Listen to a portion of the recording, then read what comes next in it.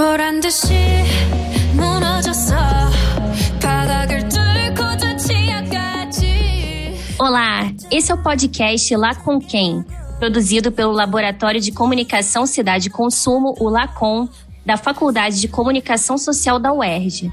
Meu nome é Débora Galziski e eu sou pesquisadora do LACOM. O tema do episódio de hoje é o consumo de produções culturais asiáticas. Para conversar com a gente sobre esse tema, temos aqui conosco a professora e pesquisadora Cristal Urbano. Cristal é doutora e mestre em comunicação pela Universidade Federal Fluminense. Ela pesquisa essa temática abordando o consumo e as produções do K-pop, animes, cultura fã, cibercultura, entre outros. Tudo bem, Cristal? Olá, Débora, olá a todos os ouvintes do Lacom. É, eu sou Cristal, venho pesquisando há um tempo né, esses temas que a Débora comentou acerca da cultura pop asiática no Brasil, especialmente, né? E estou muito feliz em participar desse episódio, né, que vai discutir sobre o consumo dessas produções pop, né, audiovisuais e musicais do Japão e da Coreia do Sul aqui no contexto brasileiro. Nós também estamos muito felizes em te receber, Cristal. Bom, as produções culturais asiáticas do Japão, Coreia do Sul, Tailândia e Taiwan, além de outros países do leste asiático, vêm ganhando cada vez mais consumidores, atraindo uma legião de fãs, o que se intensificou com a pandemia da Covid-19. Esse fenômeno cultural originário da Coreia do Sul, chamado Hallyu, é um sistema que possui caráter transnacional e se desenvolveu durante a década de 90. Ele abarca o fluxo de produtos como programas televisivos, música, cinema, literatura, entre outros, e influências nacionais que estão conquistando o cenário global. Os produtos midiáticos desses países ou cidades asiáticas acabam elevando a economia dessas nações, gerando cada vez mais lucro através das produções audiovisuais e musicais, por exemplo.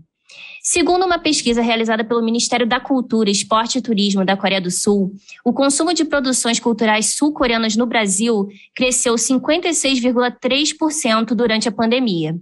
Outra pesquisa, realizada em 2020 pelo jornal O Globo, em parceria com a plataforma de streaming Viki, o Brasil passou a ocupar o terceiro lugar no ranking dos países que mais consomem K-dramas, também chamados de doramas.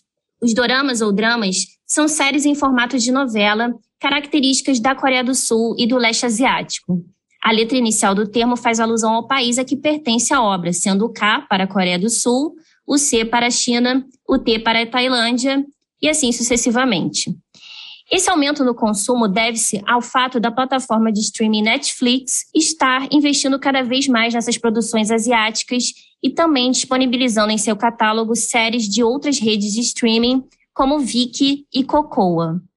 Outra vertente cultural que ganhou notoriedade foi o consumo de K-pop, o pop coreano, que vem crescendo gradativamente ano após ano, graças a grupos como BTS e Blackpink. As músicas que originalmente são da Coreia do Sul são um fenômeno global. O grupo BTS, por exemplo, está nos holofotes da Billboard desde 2018 com o álbum Love Yourself Tear. E em 2020 emplacou um single em coreano com a música Life Goes On, ficando em primeiro lugar na Billboard Hot 100, além de ter colocado outras músicas nas paradas como Dynamite. Esse ano, o BTS esteve mais de uma vez em primeiro lugar com o single Butter, ficando sete semanas no top 1. No artigo O Fluxo Midiático dos Animes e seus modos de distribuição e consumo no Brasil, você, Cristal, traça uma linha histórica sobre a chegada dos primeiros imigrantes japoneses no Brasil, que ocorreu em 1908, e colaborou para o início do processo de propagação da cultura japonesa no Brasil, também ganhando um pouco mais de visibilidade no final dos anos 60, com a exibição dos primeiros animes na televisão aberta e muito mais interesse nos anos 80 com o advento da internet. Atualmente, o mercado global asiático conquistou um lugar extremamente forte e bem sucedido nas diversas áreas da cultura, do entretenimento e da economia. Você poderia explicar para gente qual foi a relação e a importância histórica dessa imersão cultural japonesa e asiática, né, no Brasil e no mundo, para o recente sucesso e o forte interesse dos consumidores nesse mercado?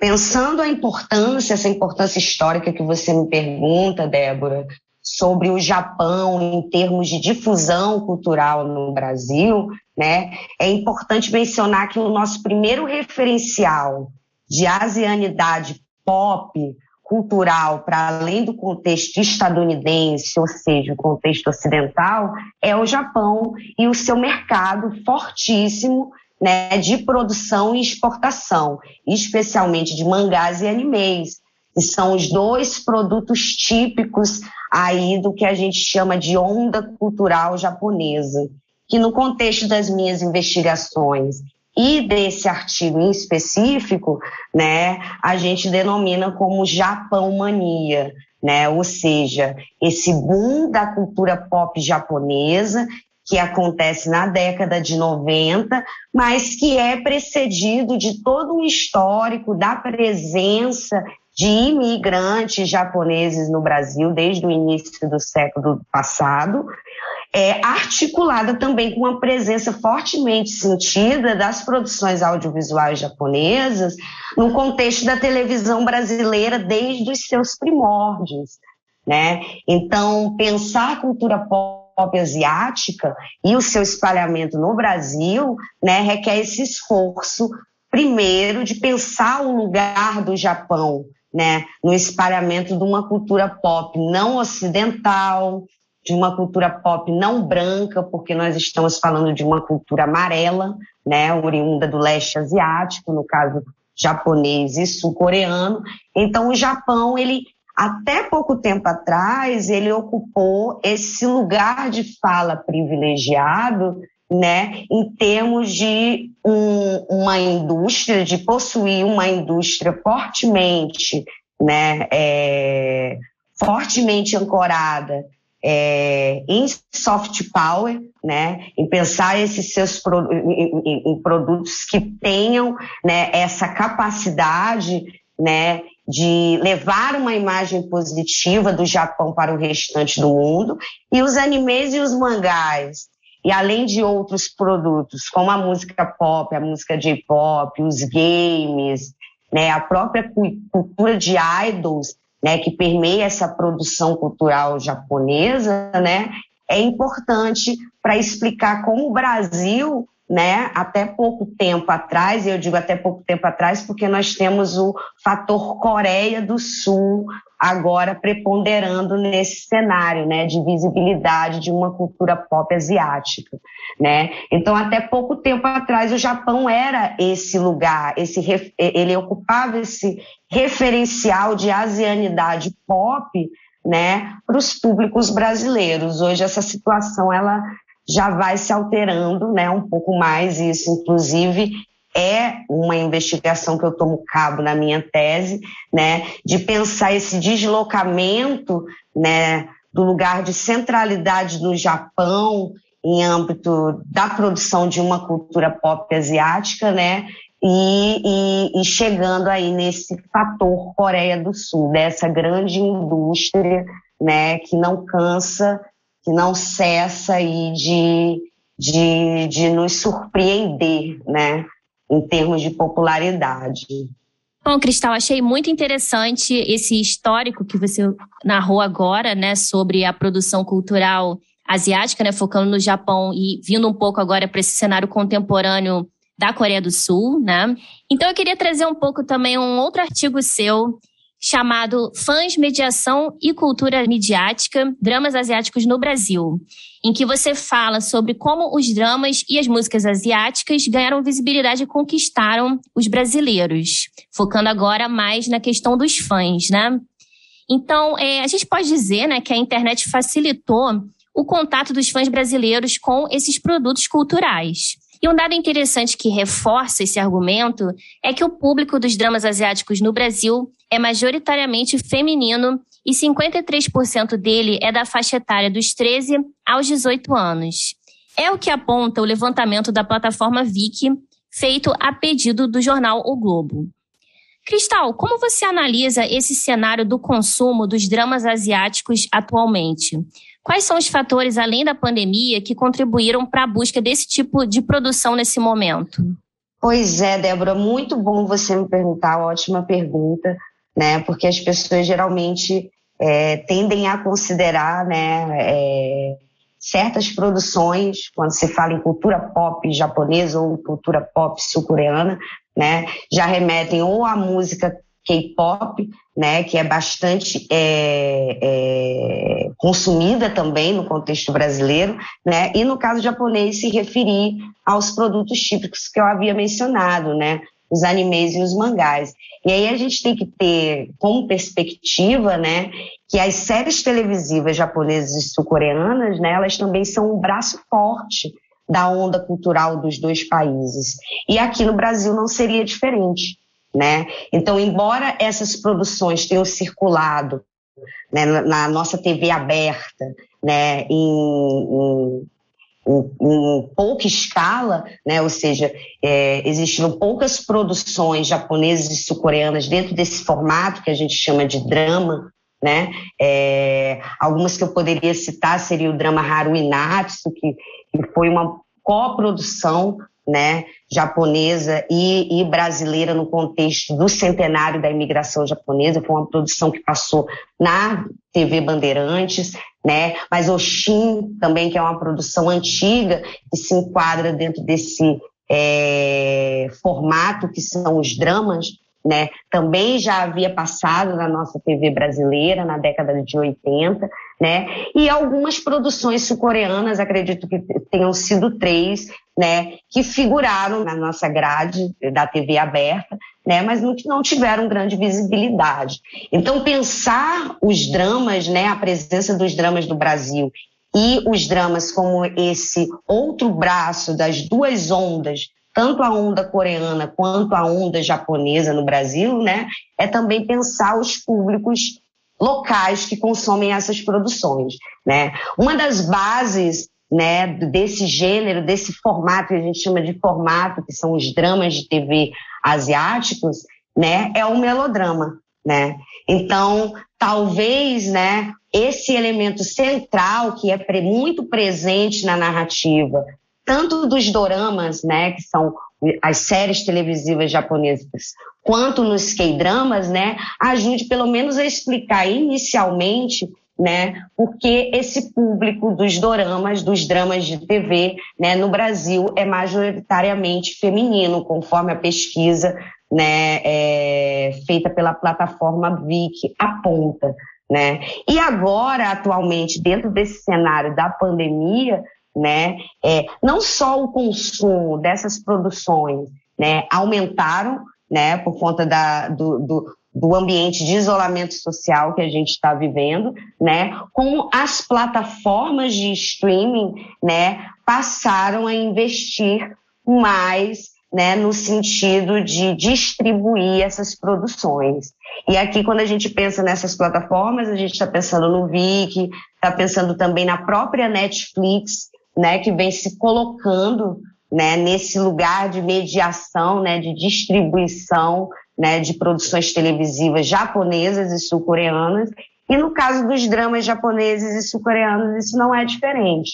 Então, se eu fosse pensar é, quais os fatores, para além da pandemia, né, contribuíram né, para essa demanda né, por esse consumo, por desse tipo de produção, né, eu poderia citar três, né, fatores.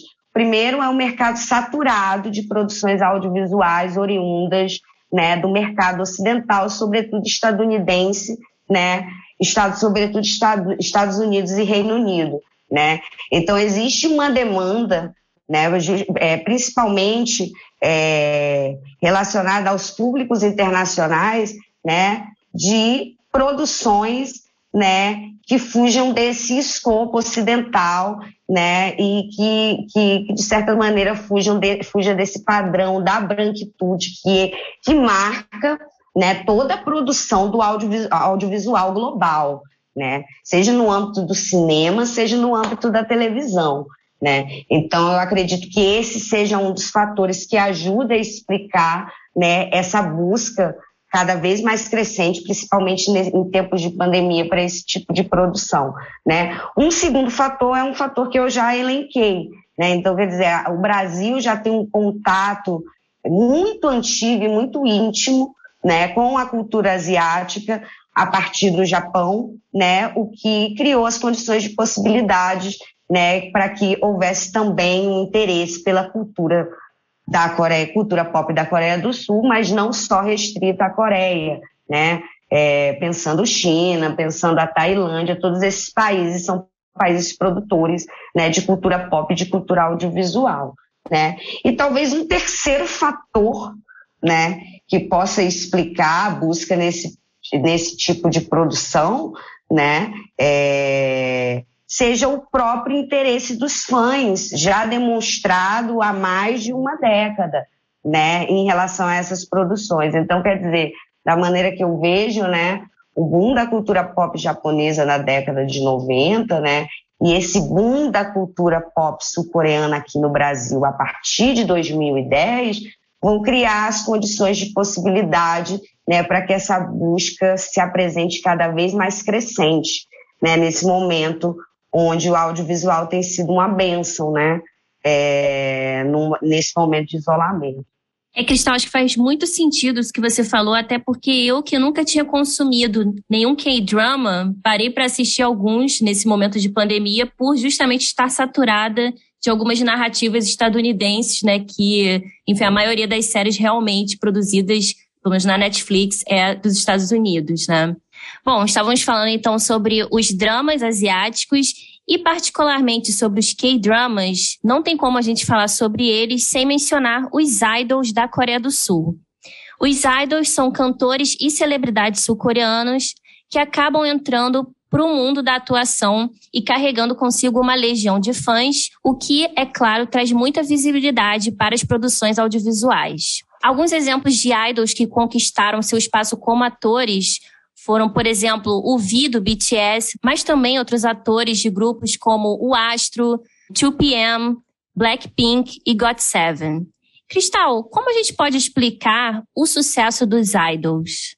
Olha, pergunta difícil, hein, Débora? Mas a gente, eu posso trazer alguns elementos aqui para a gente explicar por que, que os idols do K-pop fazem tanto sucesso, principalmente internacionalmente, né? Até porque a gente está discutindo aqui sobre esses idols sob uma perspectiva brasileira, né? Então a gente está entendendo esse fenômeno sob uma perspectiva bastante particular, que é da nossa cultura, né? É, pensando a cultura idol como um todo, né? Ela não é uma cultura nova, né? É, é uma cultura que está intrinsecamente ligada né, com a cultura pop, né, com os modos como, a, como, como os artistas da música pop se apresentam, né, até mesmo dentro de um contexto ocidental, e aí afunilando, pensando o nosso tema aqui, pensando a, a, a cultura dos idols asiática, né, mais uma vez o Japão emerge aí como esse lugar né, onde nasce uma cultura idol bastante sólida e original, né, fazendo essa intersecção né, entre é, esse diálogo entre publicidade, marketing, televisão, né, e, é, indústrias musicais, né? E esse modelo, né, é um modelo que nasce no Japão, né? Então, quando a gente pensa a cultura dos idols ali no contexto do leste asiático, a gente tem que pensar esse mercado japonês primeiro, porque é ali que emerge, né? Já na década de 70, num período pré-pop, se a gente poderia denominar assim, né? E esse modelo, né, de construção de idols que são geridos a partir de indústrias, empresas de entretenimento, é esse modelo que hoje, né, é, a gente conhece como modelo das indústrias sul-coreanas. Né? Então, quer dizer, mais uma vez, é um modelo adaptado né, aos moldes e às necessidades próprias da indústria da música pop sul-coreana, mas é um modelo que nasce no contexto japonês, né, no contexto pré, né, digamos, boom da cultura japonesa é, no, no, no, âmbito internacional. Né? E aí, respondendo a tua pergunta, né, ou tentando, fazendo movimento de, de tentar responder a tua pergunta, né, eu acho que muito do sucesso atribuído né, aos idols em termos de popularidade né, é, no mercado internacional está no modo de funcionamento das suas indústrias né? E aqui pensando o contexto sul-coreano, né, que desses artistas, né, das indústrias, desses grupos, né, de grupos como o BTS, ou que, que, que, que fazem parte desse fenômeno de popularidade, né, dos idols a partir do K-pop, né, o modelo ele se sobressai enquanto um elemento que nos ajuda a explicar esse sucesso, né, e essa popularização. E esse modelo, para além de envolver né, toda uma estratégia de marketing direcionada às novas mídias, né, que é algo que a indústria japonesa é, não costuma fazer, toda uma estratégia de lançamento no ambiente digital desses idols e o próprio modelo de treinamento que essas indústrias tomam a cabo, né, para gerir, para preparar esses artistas para aquilo que a gente chama de debut, né, fazem com que o K-pop se destaque, né, enquanto um fenômeno musical, né, quando comparado a outros fenômenos, né? Talvez um fenômeno musical que se compare ao K-pop, né, não só em termos dessa produção de idols, né, mas em termos de popularidade e sucesso, é o fenômeno do reggaeton, né? Que se aproximaria aí desse movimento, né, de que eu chamo de, é, de certa maneira, desocidentalizar, né, a cultura pop, a música pop, né, ou pelo menos desanglofonizar, né, a cultura pop, né, com músicas, com artistas, com idols, né, que trabalhem na sua língua lo local, né? E que tragam esse sentimento de pertencimento de uma cultura, né? Então, eu acredito que também essa noção de diferença que os idols trazem através da sua persona coreana, né, é, traduzida pela, pela língua, né, pelo idioma sul-coreano, Hangul, né, fazem com que também o K-pop, o sucesso, essa popularização possa ser explicada. Acho que uma outra questão que também é importante, principalmente quando a gente está falando sobre o BTS, é o fandom, né? Que são os fãs, inclusive tem um fã-clube oficial chamado ARMYs, que é um exército de fãs que é muito responsável pelo sucesso do grupo, estando a seu dispor 24 horas por dia. E eu me lembrei de um outro artigo seu, Cristal, chamado K-Pop Ativismo de Fã e Desobediência Epistêmica, no qual você fala sobre essa relação do fandom com o grupo BTS e todas as ações que os ARMYs, né, o fã-clube, desempenha, desde arruinar um evento de Donald Trump, por exemplo, até o apoio ao movimento Black Lives Matter, Vidas Negras Importam, e outras ações de causas humanitárias. Os ARMYs fazem tudo em nome do BTS e estão sempre realizando ações para gerar um impacto positivo no mundo. Como você percebe esse fenômeno, essa articulação do fandom com esses grupos do K-pop? Bom, Débora, é, sob um ponto de vista brasileiro, a gente pode dizer o seguinte, que aqui no Brasil há um exército né, das, de fãs do BTS, ou seja, um exército de armas, né, cujo o objetivo principal e maior é disseminar a mensagem do BTS, sobretudo nos ambientes digitais. E essas mensagens são diversas, né? Mas há um mote principal, né, que a gente observa nessas mensagens que o grupo passa não só através das suas músicas, mas das suas falas é, é, em certos eventos, né? e no ambiente também digital, onde ele, eles podem conversar mais intimamente com os fãs, né, é essa ideia né, de trazer né, é, para a juventude né, um motivo de viver né, de fazer com que a juventude expresse, né, o seu eu, né, de maneira efusiva e entusiasta. Talvez isso defina um pouco e muito rasteiramente, né, o que a mensagem desse grupo, a mensagem do BTS, né, E com as armas não é diferente, né? Então, tudo aquilo que advém do BTS, advém do grupo, enquanto mensagem, enquanto uma ação efetiva que possa ser é, realmente implementada no contexto social, no contexto local, as armas estão abraçando.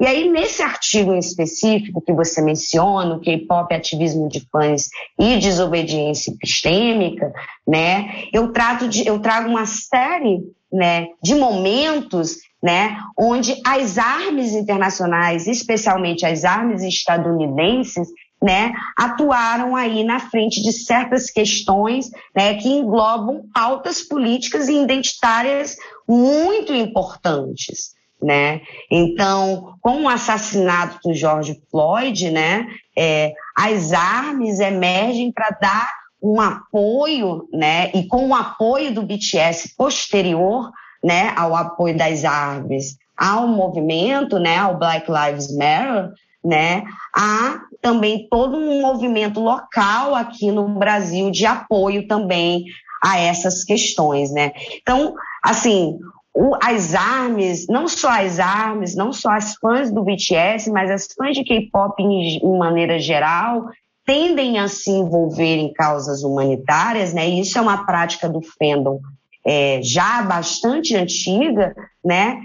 É, a grande diferença agora é que essas ações né, do, fandom, do fandom ganham uma visibilidade da grande mídia né? Então, quer dizer, esse, o fandom da música K-pop, o fandom do BTS, ilustrado pelo BTS, né, demonstra como as fãs de K-pop, ao contrário do que se poderia supor, né, como os fãs de K-pop, eles são conscientes e têm uma percepção crítica da realidade que os rodeia. Né?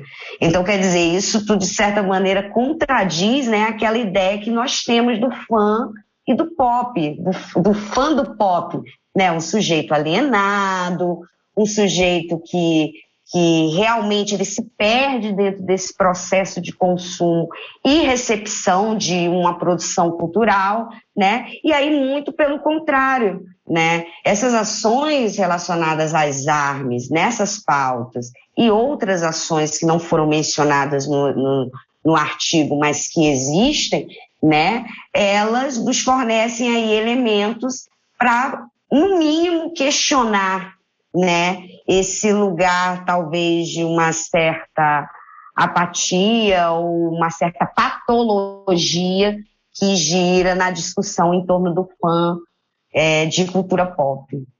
Eu achei muito interessante isso que você mencionou, Cristal, porque eu sinto que ainda existe muito preconceito com esses temas, tanto os temas relacionados à cultura pop, como os temas relacionados ao consumo também, né? Que, enfim, o conceito de consumo é um conceito muito amplo e muitas pessoas ainda associam, dentro da academia mesmo, consumo a consumismo, né?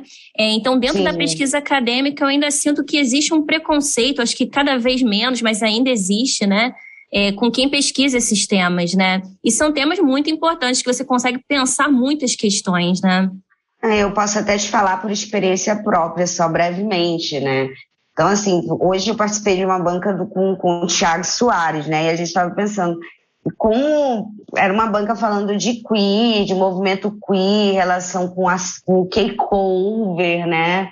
É, com K-covers, grupos de K-covers é, que, onde tem pessoas trans, negras, gordas, ou seja, esse, é, esses corpos precários né, e dissidentes. Né? E a gente estava falando como ainda né, a gente tem que fazer esse movimento de pegar questões de outras áreas, de outros estudos, para justificar a nossa aplicação desse objeto na comunicação, que é uma coisa que as outras áreas não fazem, ao contrário né?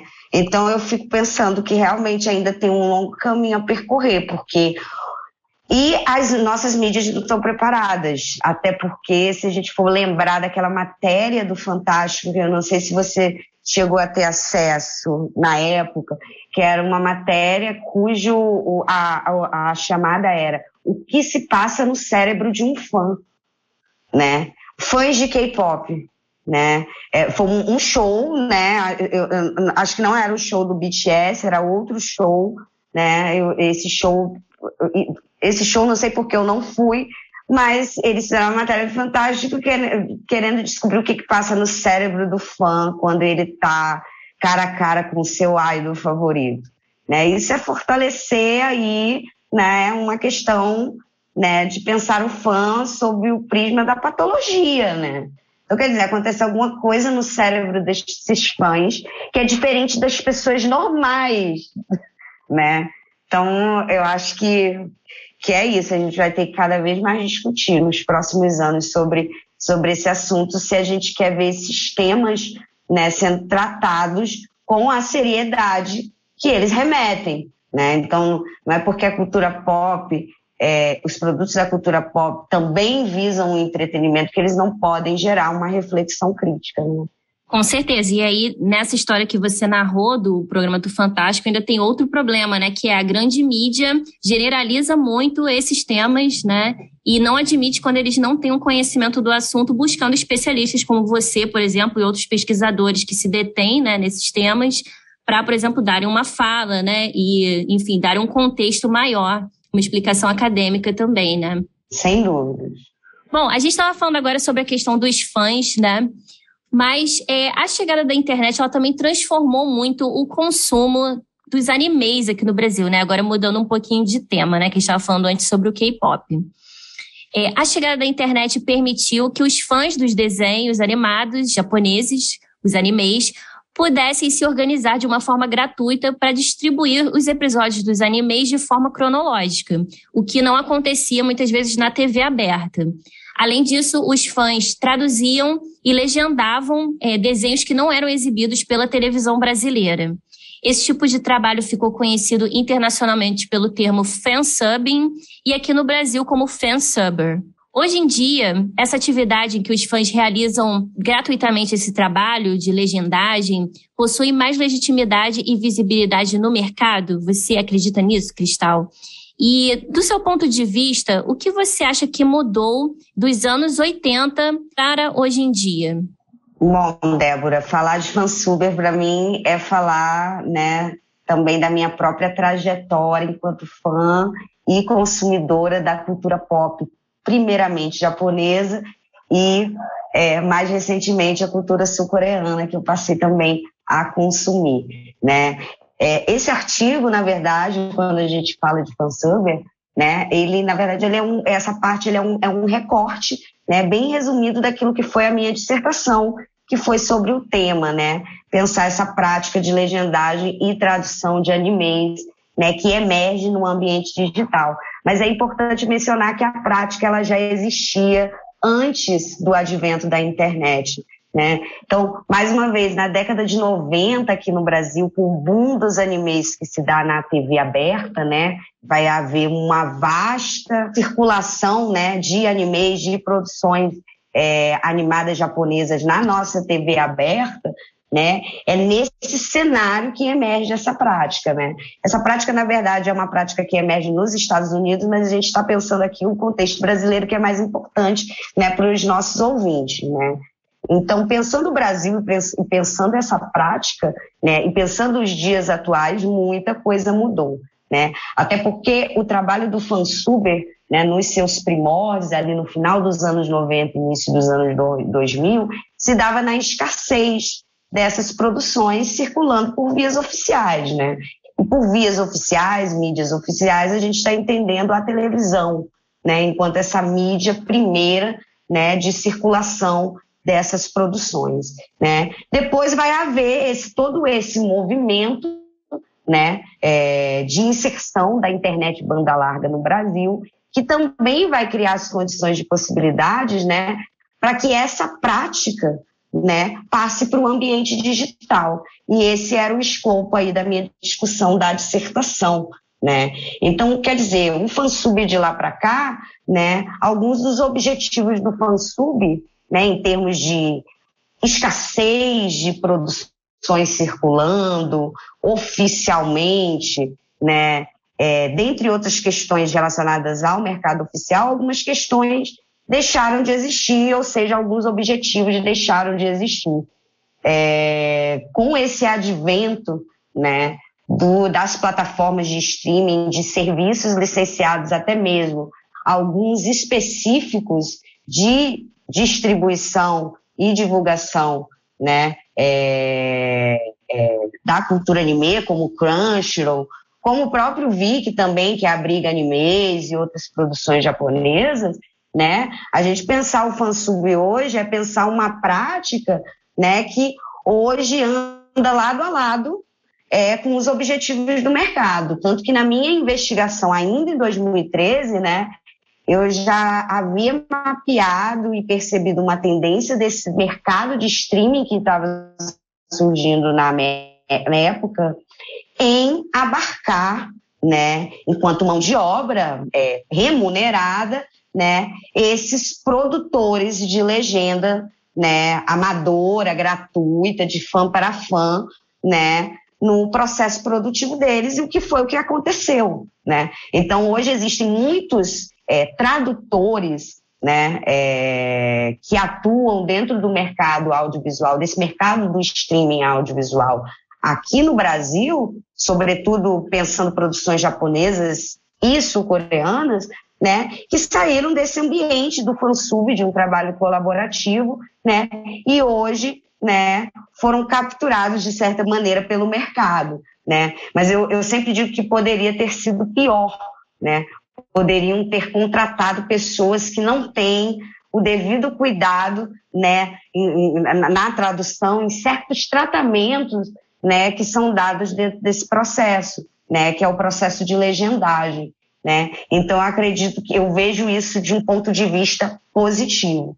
Né? E aí, uma última questão sobre o fansub, para ilustrar né, é, é, essas mudanças né, que, que ocorreram dos anos 80, né, quando a gente estava tendo aí um grande fluxo de produções japonesas circulando, os anos 90 com o seu boom, os anos 2000 com essa emergência da internet. E os dias atuais com esse mercado de streaming, né, é que o fansuber continua atuando, mas continua atuando em outras frentes, né? E o que eu observo é que certos gêneros, pelo menos dos animes e dos mangás, gêneros específicos, né, que jamais circulariam é, na nossa TV aberta ou a cabo, como o hentai, como boys love e outros gêneros que não estão aí, digamos assim, dentro de uma cultura mainstream né, é, dos animes, né, que sem os fansubers esses gêneros jamais circulariam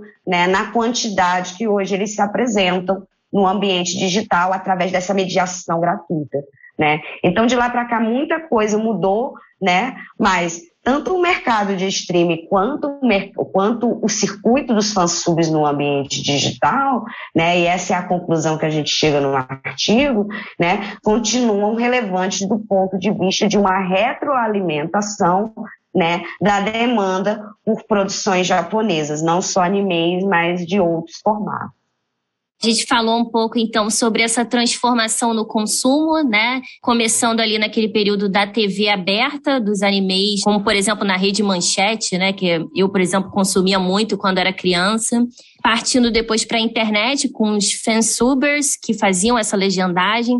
E hoje a gente tem várias plataformas de streaming, né? A Netflix é uma delas. E a gente estava falando no começo desse bate-papo que a Netflix vem adquirindo diversos conteúdos e produzindo séries originais também, tanto sul-coreanas como também japonesas, né? Será, Cristal, que essa demanda por conteúdos audiovisuais não ocidentais também começará a aparecer mais na rede aberta de televisão brasileira. O que, que você acha sobre isso? Bom, eu acho assim que em termos de demanda deveríamos ver, né? Se as nossas mídias massivas, tradicionais, locais, começarem a ver o potencial da demanda por essas produções, né, sobretudo televisivas, né, eu acho que seria aí um bom cenário, um bom porvir né, para diversificar, né, a produção audiovisual que circula na nossa televisão, por exemplo, né? Então, quer dizer, a, a, gente tem uma produção televisiva, né, com grandes empresas como a TV Globo, como a TV Record, que são grandes polos de produção de novelas, né, de produção de, de dramaturgia, né, mas que ainda são polos de produção de audiovisual muito tradicionais do ponto de vista é, com que eles pensam os seus negócios e a composição de seus produtos.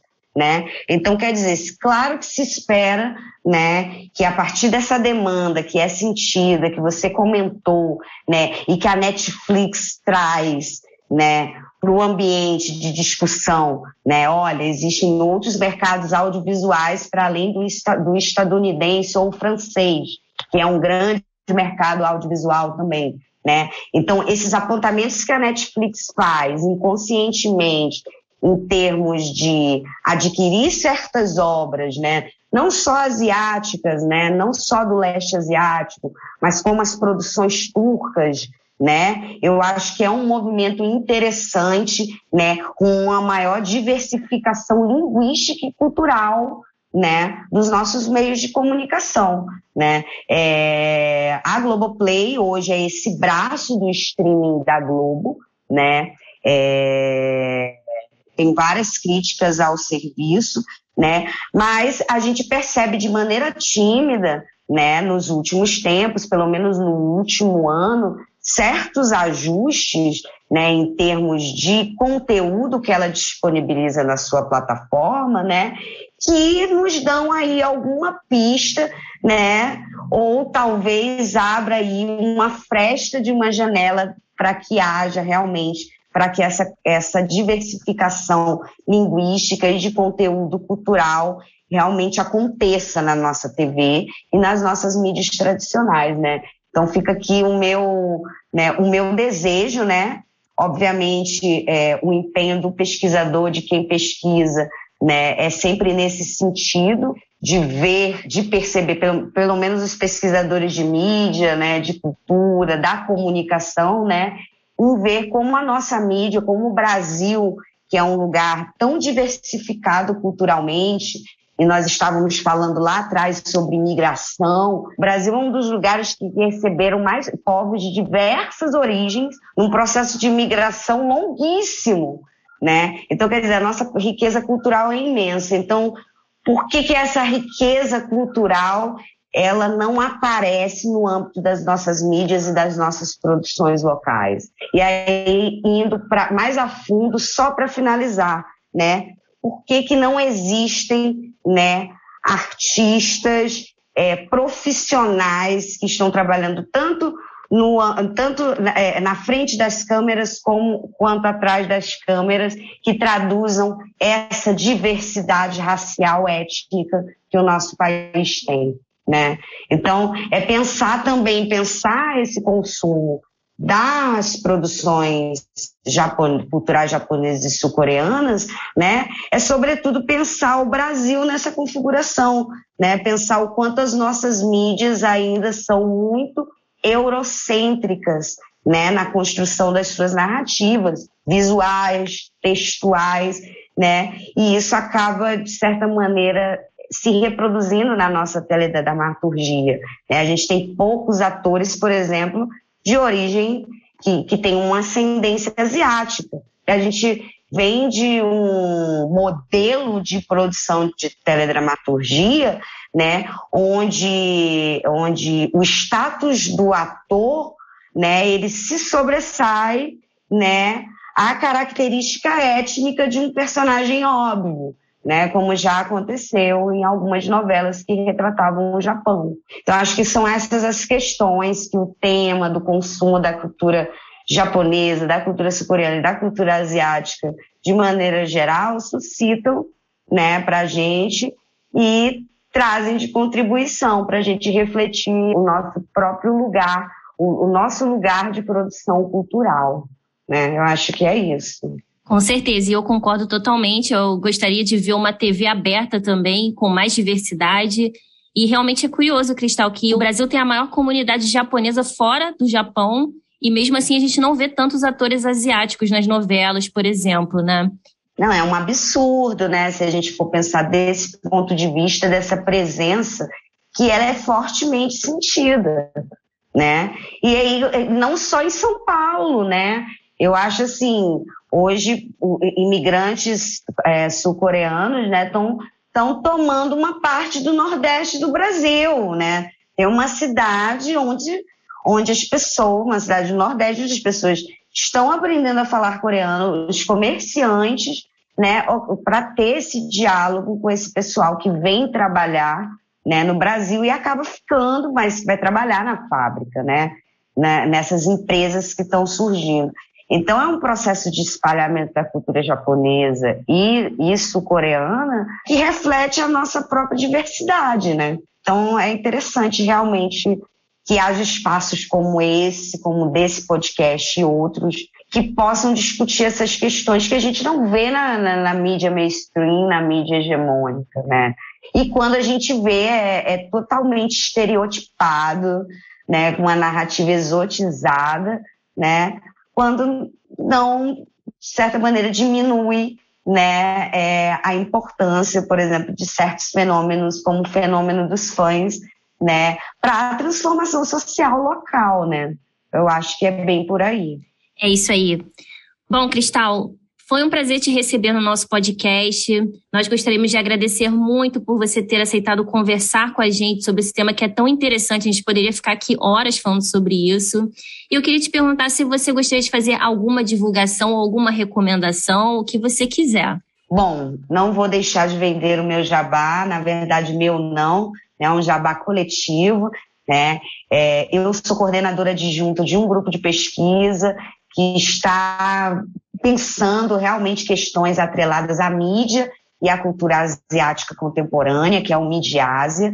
Né? Você encontra, nós temos um site que é midiasia.com.br, né? Temos um Facebook, uma fanpage no Facebook que é Midiasia UF, né? E nas próximas semanas iremos lançar o nosso Instagram, né? Onde a gente vai postar notícias, é, produções né, que o nosso coletivo realiza, o nosso grupo de pesquisa. Né, é um grupo de pesquisa vinculado ao programa de pós-graduação em comunicação da Universidade Federal Fluminense, onde eu atualmente sou pós-doutoranda, né, pensando a Netflix e, e, e essa distribuição das produções televisivas japonesas e sul-coreanas, né? E o Midiase, ele se propõe a ser esse hub de pesquisadores interessados né, em se aprofundar né, nas questões referentes à mídia e à cultura asiática contemporânea, né, agora, né, no momento presente. Né? Então, convido vocês a visitarem o nosso site, a olharem o nosso Facebook, né, e entrar em contato conosco, né, se tiverem alguma dúvida, se quiserem dar alguma sugestão, ou até mesmo colaborar com, com o nosso grupo de pesquisa. Nós somos muito abertos né, a colaborações externas. Maravilha! O programa de hoje foi gravado remotamente e editado pelo Audiolab da UERJ. O roteiro e a produção foram de Eduardo Ribeiro e Isabelle Costa, estagiários do Lacom. Caso você tenha ficado com alguma dúvida, mande um e-mail para lacomerge.gmail.com ou uma mensagem para o nosso Instagram ou Facebook, que é lacomerge, e na próxima edição responderemos as suas questões. Até a próxima! ha, how you like that?